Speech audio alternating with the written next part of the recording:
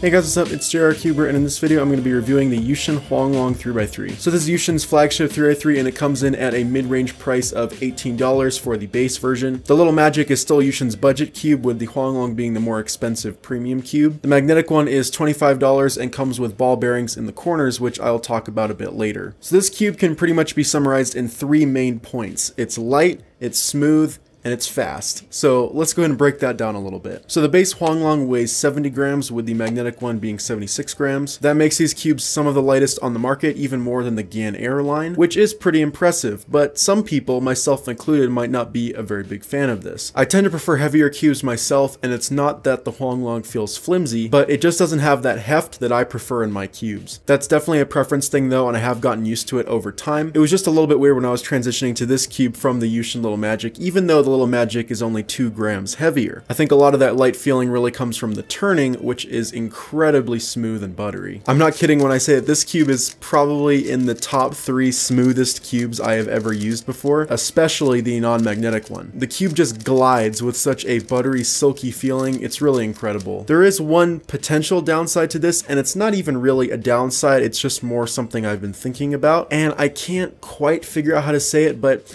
it's almost like this cube feels a little bit boring. Like it's just got this really vanilla feeling. Like there isn't much character to the turning, if that makes any sense whatsoever. Like objectively, the turning is really good, but there's just something about it that almost makes it not all that interesting to use. I guess something like that. I'm not really totally sure. It definitely does have really good turning, and if you're looking for a smooth cube, this is definitely going to be your best bet. Also, go ahead and show you guys just some raw turning so you guys can get an idea of what the cube sounds like as well.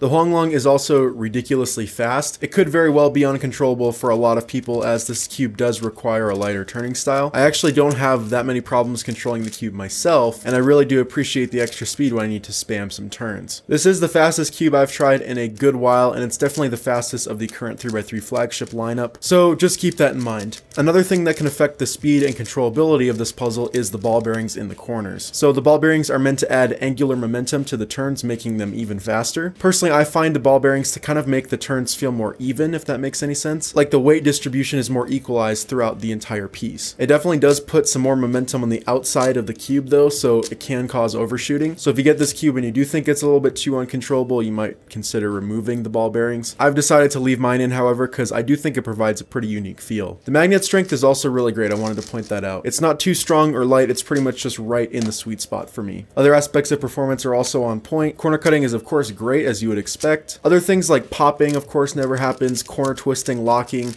those things are all pretty minimal too. I actually do lock up kind of often on last layer, but that has gone down the more I practice with this cube and get used to the speed. So overall, the Huanglong is a pretty great cube. I definitely would have preferred something a little bit heavier and maybe something with a little bit more of an interesting feel. But if you guys like light, smooth, fast cubes, then that's exactly what this is, so you're probably going to be very, very happy with it. Overall, I have pretty neutral feelings on this cube. I don't love it or hate it, but it's a very serviceable cube that suits my needs pretty well. I probably will end up maining it because I just like the speed so much anyways. The Little Magic is feeling a little bit slow after using the Huanglong for a while. Anyways, that's about all I've got to say on the Yuxin Huanglong 3x3. If you guys do want to purchase this cube, the links will be down in the description below as always. Thanks of course to the Cubicle for sending me this cube for free to review and also for sponsoring the video. If you guys like this video, make sure to hit that like button, turn on notifications, and subscribe if you haven't already.